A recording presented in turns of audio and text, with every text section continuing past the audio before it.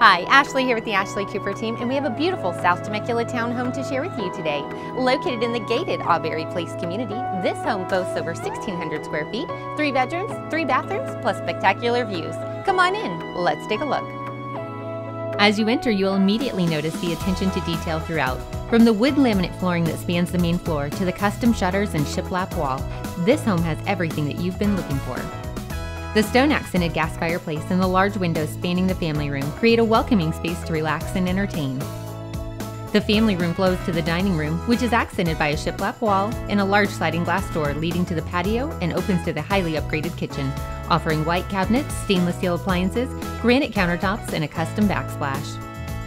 A roomy den with an abundance of natural light, a half bathroom, and the laundry room offering access to the attached two car garage complete the main floor of the home. Stepping into the tranquil backyard, you will discover a peaceful setting with no rear neighbor, a covered patio, and wonderful views.